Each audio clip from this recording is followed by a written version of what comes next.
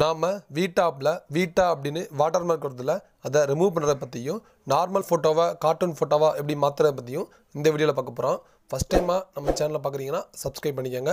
அப்படியே பக்கத்தில் இருக்க பெல் கனெக்ட் கிளிக் பண்ணி ஆல்கிறத கிளிக் பண்ணிங்கன்னா நான் அப்புறம் நியூ வீடியோலாம் உங்களுக்கு வந்து கிடைக்கும். இந்த ஆப்போட இன்டர்பேஸு இப்படி தான் இருக்கும்.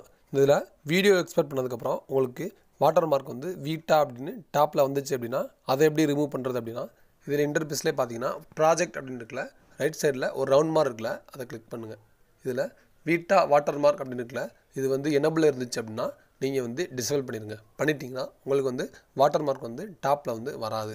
அடுத்து ரெசல்யூஷன் அப்படின்னு இருக்குல்ல அதுவும் அதே பார்த்தீங்கன்னா one eighty P seven twenty P four eighty P three டுவெண்ட்டிபின்னு நாலு இது கொடுத்துருக்காங்க. உங்களுக்கு வேணுங்கிறத செலக்ட் பண்ணிக்கங்க.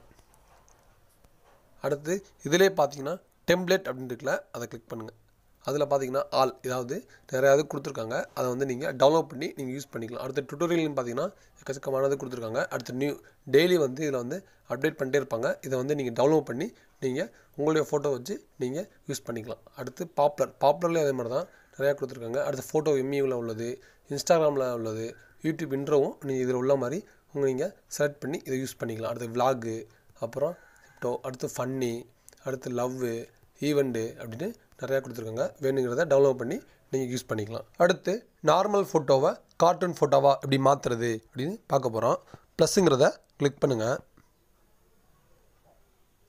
உங்களுக்கு தேவையான ஒரு ஃபோட்டோவை ஆட் பண்ணுங்கள் இது பார்த்தீங்கன்னா நார்மல் ஃபோட்டோ இதில் ரேசியோ அப்படின்னு இருக்குல்ல அதை கிளிக் பண்ணுங்கள் இதில் நிறைய ரேசியோ கொடுத்துருக்காங்க. உங்களுக்கு வேணுங்கிறத கிளிக் பண்ணிக்கோங்க. இதில் பார்த்தீங்கன்னா எஃபெக்ட் அப்படின்னு அதை கிளிக் பண்ணுங்கள் இதில் ரெண்டாவது கார்ட்டூன் அப்படின்னு அதை ஜஸ்ட்டு கிளிக் பண்ணிங்கன்னா போதும் உங்களுக்கு வந்து கார்ட்டூன் ஃபோட்டோவாக மாறிடும். அடுத்து ரெண்டாவது நார்மல் ஃபோட்டோ இருக்குல்ல அதை கிளிக் பண்ணி டெலிட் பண்ணிடுங்க.